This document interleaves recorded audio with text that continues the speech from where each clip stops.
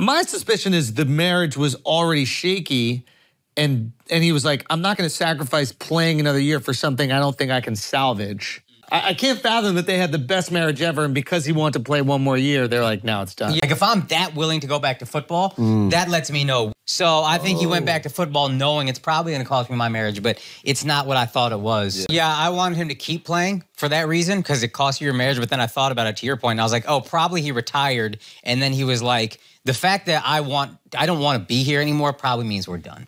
Like if I'm that willing to go back to football, mm. that lets me know we can, me not uh. having football and just being with you, it's not working. So I think he went back to oh. football knowing it's probably going to cost me my marriage, but it's not what I thought it was. And she probably said the same thing.